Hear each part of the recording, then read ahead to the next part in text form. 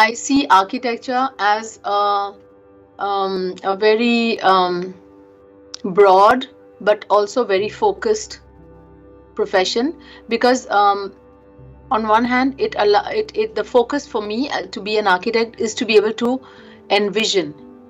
holistically. And that's why all all these different subjects which were interesting to me um, have shaped me and i continue to take interest in so many things from economy anthropology i look at i i like to be updated with the latest findings because i think the human we are not designing for a static human but humans in my opinion uh, uh, or in my let's say understanding of our role as architects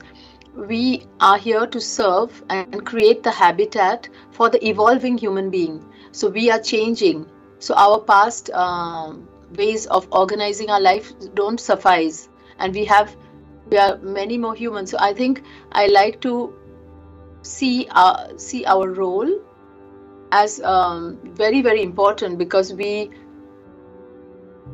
architecture is is a is a tool to be able to synthesize many many professional or many many different aspects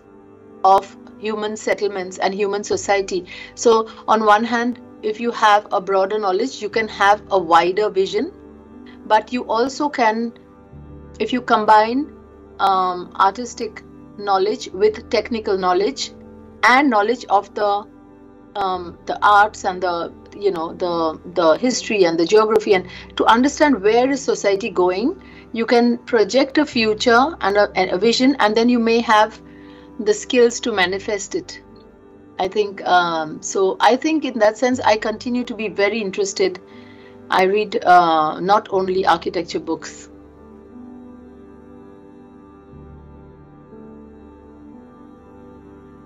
Most uh, buildings are aimed at daylighting. So I can't single out any because I it's something very basic for us. Um, I would just say that for me it has been more about combining day, the, the window designs and lighting design with ventilation design. Because from the point of view of ventilation the climate gives us solar conditions for lighting but it also gives us a heating impact of the solar conditions. So either you have to heat or cool your building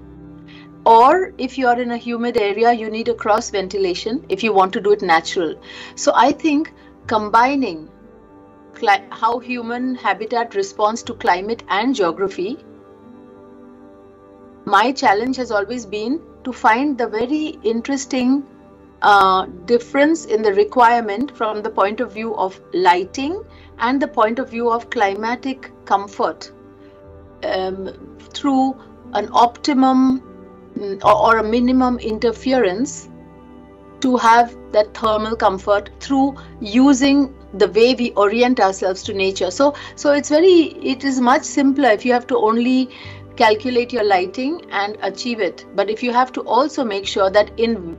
in the monsoon season um, you need a different ventilation than in a hot summer and winter. So how do you negotiate the changing temporal uh, aspect of climate with the changing daily need for lighting. So this is a challenge and is unique according to where we apply it. And that's where I think my research has been focused.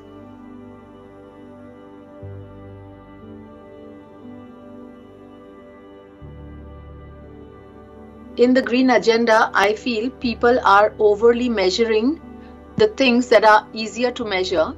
and the harder to measure aspects are completely being left out from the checklist so i think you know things like you know uh, the need for a view for your well-being to orient whether you're what's going on outside and how the day is changing uh, these kind of psychological needs and even biological needs of light for your health and happiness and well-being i think are harder like see beauty is hard to measure but we know that we would suffer if it's ugly so so i feel a lot of very factual rational parameters have made their way into the green building guidelines, even in terms of materiality, I find, but the qualitative aspects are not uh, easy to do, and so they are not in the list. So it's quite dangerous that we just check some boxes and we think we have achieved it, but may, we may have forgotten the central issues. So uh, I I used to you know I, a quote comes to mind, you know what is the point of doing efficiently those things which should not be done at all this is a question you can get a easily uh, if you check the various boxes you could get a nice green building but the whole thing may not be green or maybe the whole building should have been avoided by using something else. So humans have started pigeonholing their, themselves and as as architects or as holistic thinkers we need to make sure that the things which are so essential to the soul but they they are not easy to put a number and figure to not leave them out totally